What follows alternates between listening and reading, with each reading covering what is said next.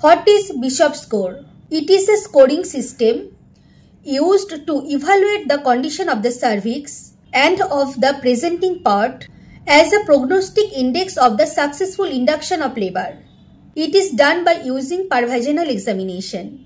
Here the lowest score is 0 and highest score is 13 on 3. Now the components of Bishop score.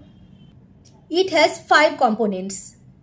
Bishop itself is a mnemonic. First B for bishop, I for effacement or cervical length, O it starts from E. S for station, H for consistency if it is hard or firm, O for dilatation of the cervix, P for position of the cervix.